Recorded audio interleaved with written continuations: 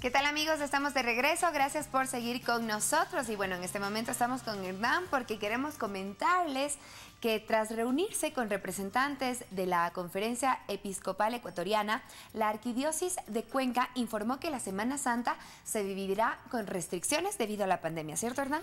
Entre ellas está la reducción del aforo para las Eucaristías en las diferentes iglesias de la ciudad. Además, se suspenderán las procesiones y otros actos públicos masivos como es el Vía Crucis muy común en los cuencanos católicos. Así que vamos a ver la siguiente nota para conocer más detalles de cómo se celebrará también la conocida Semana Mayor. La Arquidiócesis de Cuenca estableció ya algunas medidas para los católicos que vivirán la Semana Santa, informando que el Domingo de Ramos, día en que se conmemora la entrada del Señor Jesús en Jerusalén, las misas se desarrollarán únicamente en el interior del edificio sagrado, respetando el 30% de aforo.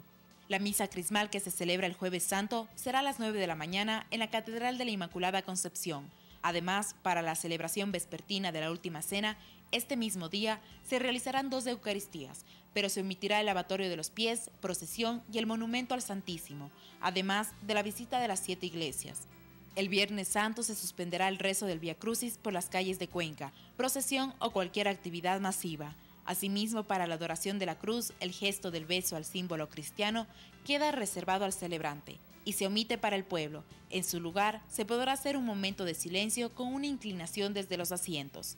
Los actos de piedad que enriquecen los días de la Semana Santa y del Trido Pascual, el descendimiento, procesión al Santo Sepulcro, procesiones penitenciales, sermón de las siete palabras, también se suspenden por convocar concentraciones masivas. La alternativa es que se realicen a través de los medios virtuales.